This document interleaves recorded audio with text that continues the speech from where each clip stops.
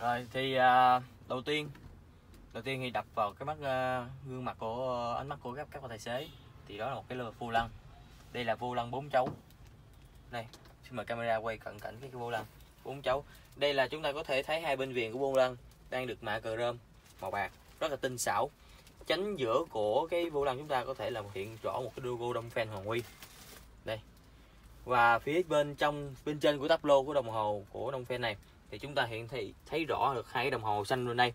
Đây bên phía bên tay trái của em thì là đồng hồ báo km vòng tua km. Bên đây là đồng hồ báo vòng tua. Và phía bên góc bên trái có hai cái đồng hồ nhỏ bên đây. Đây là đồng hồ báo xăng là đồng hồ báo, báo nhiệt độ. Và phía bên tay phải em tấn cũng thấy được hai cái đồng hồ đó nữa. Đây là hai đồng hồ BA thì em tấn cũng chưa có rành về cái này. Cái này chắc em tấn phải về phải tra cứu trên Google quá mới biết được phải phân tích được các cái bắt biết. Đó thì về phần cái bộ phận giải trí bên hông kế bên. Đây là bộ phận giải trí. Đây chúng ta sẽ thấy được cái này là cái gì ta?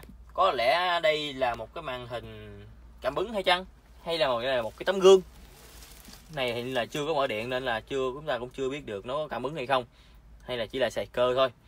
Bây giờ em Tuấn sẽ nổ máy lên để cảm nhận được sự cái cái tinh xảo cái ờ, nội thất nó như thế nào và cái máy lạnh nó như thế nào, nó có mát hay không? Thì cùng bắt tay cùng tiến tới nha. Tắt cắt cắt cắt